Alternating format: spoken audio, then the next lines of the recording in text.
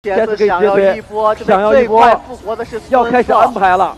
这边九月拿自己的身躯时间，扛住了兵线，可以一波，可以一波。孙策这边要去清线，有但是十三再点再点，能不能拿掉？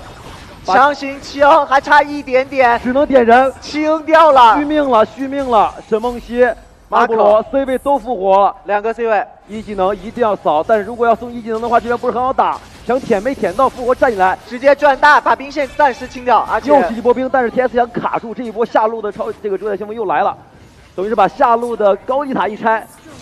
上路是因为自己这边兵线不好，是一个劣势，这边想要清闪马可炸炸住两个，马可触发迅马博龙之怒，没办法。没有名刀，没有复活要，跟进来。十三被秒了，想直接那兵，线进来抢再点水晶直接，点了，现在还差一点已经明刀了，没有点那一下，这一波撤出来了。是啊，太乙真人再炸一个马跳，进来，李信拆掉了水晶，让我们恭喜 TS